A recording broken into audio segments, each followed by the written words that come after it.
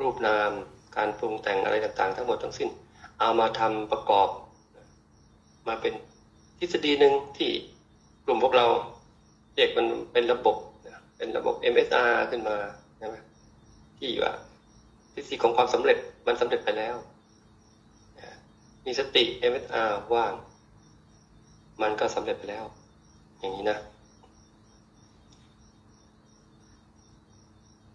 ในวันนี้ก็ อยากให้ทุกคนนั่นแหละ ศึกษา เรื่องของระบบ MSR ให้เข้าใจให้ตรงแท้จริง ๆ MSR คือชื่อทั้งจ้ MSR คือชื่อกลุ่ม ชื่อในระบบของเราเนี่ย เราเรียกว่าระบบ MSR ในระบบ MSR มันเป็นยังไง ในระบบ MSR มันเป็นทุกอย่าง ในระบบ MSR มันอยู่ในทั้งโลกุตระทั้งโลกิยะก็ศึกษา MSR คือศึกษาทั้งโลกุตระและศึกษาทั้งโลกิยะ ใช่ไหม MSR คือทุกสรรพสิ่ง ในคือคนเราเนี่ย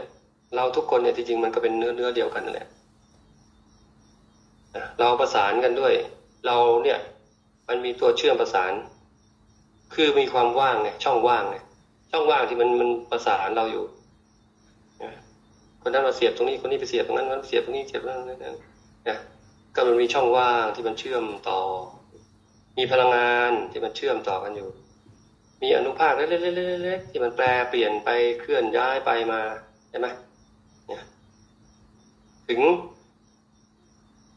ที่สุดแล้วเราก็จะเข้าใจว่าไอ้รูปนามขันห้าเนี่ยมันไม่มีอยู่จริง มันไม่มีตัวตนอยู่จริง แต่มันก็เชื่อมประสานกันอยู่ มันก็มีที่บอกไม่มีสัตว์บุคคลตัวตนเราเขาใช่ไหมก็มีแต่ธรรมธาตุเนี่ยที่หมุนเวียนเปลี่ยนไปตามเหตุปัจจัย ถ้ามันมีเหตุมันก็เกิดเป็นธรรมธาตุมันรวมตัวกันเข้ามา หมดเหตุมันก็ดับธาตุมันแยกย้ายกันออกไปโดยการรวมตัวของธาตุก็คือธาตุสีดินน้ำลมไฟมารวมกันกับสสารต่างๆนะโปไอแคลเซียมคาร์บอนโพแทสเซียมอะไรต่างๆ เยอะแยะมากมาย ก็มารวมตัวกันเข้า การรวมตัวมีโปรตีนไขมันอะไรต่างๆเยอะแยะมากมาย มันก็รวมตัวกันด้วย ธาตุสี่นั่นแหละไอ้ธาตุสี่มันก็รวมตัวได้ด้วยเหตุปัจจัย มันมีปัจจัยอะไรก็แล้ว แต่มันกลับมารวมรวมรวมกันเข้า เกิดเป็นรูปร่างเป็นมนุษย์ขึ้นมาใช่ไหมพอหมดเหตุมันหมดอายุคนคนตายไปเนี่ยมันก็แยกตัวกันไปธาตุก็แยกไป แต่จิตมันยังอยู่ คนเราเนี่ย แม้เราตายไปแล้วเนี่ยนะแต่จิตเรายังอยู่ ตัวจิตมันยังอยู่ ตัวตายเนี่ยนะไออย่างมาเซอร์ เนี่ยมาเซอร์กล้าพูดเลยนะพอมาเซอร์ เนี่ยไม่ตายนะเออไม่ตาย ไม่มีการตาย เพราะว่าคือการตายเนี่ยมันมีภาษาธรรมกับภาษาคนใช่ไหมการตายคือว่า คนตาย ป่วยตาย โดนรถชนตายอย่างนี้นะแต่ว่าของเราเนี่ย ถ้ามันไม่เกิดแล้วมันจะตายไหมล่ะคนเราอันนี้หมายถึงว่ามันไม่เกิดกิเลสหรือมันไม่เกิดสภาวะอะไรที่มันทำให้เราทุกข์ได้ มันไม่เกิดสภาวะอะไรที่ทำให้เรา มันมันไม่ได้มีอัตราตัวตนอะไรที่มันทำให้เกิด คือมันตายตั้งแต่ คือมันไม่มันไม่เกิด มันก็ไม่มีตายนะ ในปฏิจจในสายปฏิจจเนี่ยพอมันดับไปหนึ่งหนึ่งหนึ่งสักหนึ่งตัวนะอวิชชาสังขารวิญญาณเนี่ยดับผัสสะก็ได้ผัสสะดับเวทนา ก็ไม่เกิด ความรู้สึกต่างๆก็ไม่เกิด ตากระทบรูปปั๊บเนี่ย เกิดผัสสะผัสสะแต่เราไม่สนใจ ไม่สนใจในผัสสะมันไม่ไม่สนใจ มันก็ไม่เกิดเวทนา ไม่เกิดเวทนา ตัณหาอุปทานต่างๆมันก็ ไม่เกิดไม่เกิดไม่เกิดมันก็กระดับไปหมดทั้งสาย นี่แหละ คือการตาย เรียนธรรมะเนี่ย คือเรียนให้ตายนะเรียนให้มันตายไปเลยเรียนให้หมดตัวไปเลยเนี่ย มาเซอร์พูดอย่างนี้โอ้บางคนก็เอ๊ะเมื่อก่อนนี่พูดอย่างนี้แล้วคนไม่เข้าใจ แต่พวกเราจะเข้าใจว่าเรียนให้มันดับให้มันตายไปคือให้มันตายให้มันกิเลสทั้งหลายมันไม่มี ให้มันตายจากกิเลสไปเลย มันดับจากกิเลสไปเลย ให้มันหมดก็คือหมดตัวไปเลยคือหมดอัตตาตัวตนไปเลย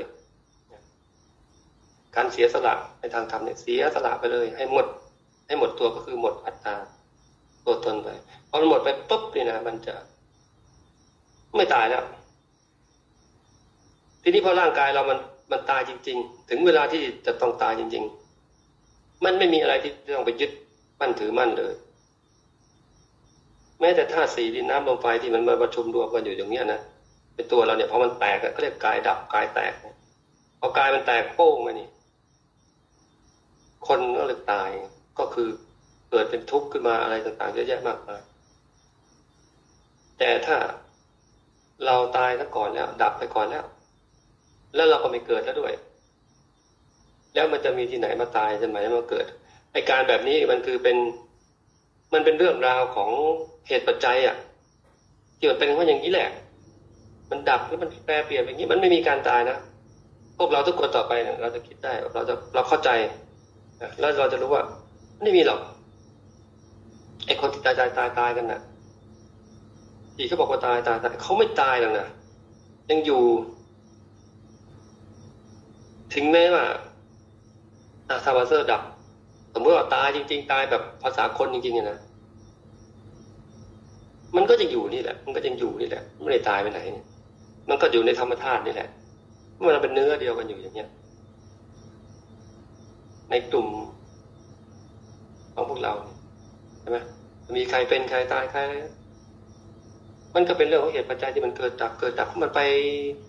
แล้วมันก็ไม่ได้เกิดไม่ได้ดับเลยนะ แต่นี่เราไปสมมติบัญญัติว่ามันเกิดมันดับถูกไหมที่จริงแล้วเนี่ย มันแค่ไหลเวียนไปมาไปตรงนั้นทีกระทบตรงนี้ที รวมตัวตรงนั้นหน่อย ไปแยกตัวจากตรงนี้ไปรวมตรงนู้นเนี่ยอันนี้เป็นเรื่องของธรรมธาตุนะเป็นเรื่องของจิตมันไม่ได้มีตาย จิตมันตายที่ไหนมันไม่ได้ตาย จิตก็ถ้าถอดถอนออกจากรูปนามขันห้าไปจริง ๆ ก็กลับเข้าสู่สุญญตาก็อยู่ว่างๆนะมันก็ไม่ได้มีอะไรใช่ไหมก็อยู่กับญาณอยู่กับสุข อยู่กับ มันก็มันสุขอะอันนี้มันสุข มันจะพูดว่าอยู่กับก็ไม่ได้ เพราะมันไม่มีคำว่าอยู่อะ มันไม่มี มันไม่มีพูดไม่ได้ มันพูดไม่ได้ มันเป็นปัจจตังใครอยากรู้ตรงนี้ก็ที่มาเซอร์บอกสอนไปเมื่อวานนี้นะว่างๆก็นั่งดูกายดูใจเราเนี่ย แล้วถ้าเกิดมันโน้มความว่างเข้ามาแล้วมันแวบเข้าไป แวบเข้าไปเนี่ยเฮ้ยมันไม่ได้มีเหตุปัจจัยอะไรเลยนี่วะมันอยู่ดีๆมันก็ว่างสุขอิ่มขึ้นมาเฉยๆเนี่ย มันจะเป็นมาแวบนึงนั่นแหละ คือว่างเป็นสุญญตาวิหาร แล้วทุกคนก็จะเข้าใจนะก็มีสติเอเมอาว่างสร้างกุศลเยอะๆไว้นะแล้วนี้มาใกล้วันมาฆะแล้วเนี่ยนะวันมาฆบูชานะแล้วก็ปฏิบัติให้เยอะๆเพื่อที่จะเป็นพุทธบูชานะให้กับองค์สมเด็จพระสัมมาสัมพุทธเจ้าแล้วเราก็ เป็นเป็นทหารต่อไปเราจะเป็นทหารกล้าขององค์สมเด็จสัมมาสัมพุทธเจ้าเนี่ยพวกเรานี่เราต้องรู้ว่าวันมาคาบูชา เป็นวันที่แสดงโอวาทปาติโมกอะไร ท่านโอวาทของพระเจ้าเป็นยังไง สร้างกุศลให้ถึงพร้อมละอกุศลทำจิตใจให้ขาวรอบอะไรทำไมมันไม่รู้มันใช่หรือเปล่าแต่ว่าน่าจะไม่มีปัญหาอะไร อะเดี๋ยววันนี้ก็แค่นี้ก่อนเดี๋ยวคุณจะทำนำเนาะทำใจว่างๆว่างๆว่างๆมันไม่มีอะไร มันมีธรรมธาตุที่หมุนเวียนเปลี่ยนไปอยู่อย่างนี้แหละในร่างกายเราก็มีการหมุนเวียนเปลี่ยนแปลงตลอดเวลาอะคุยกันนำ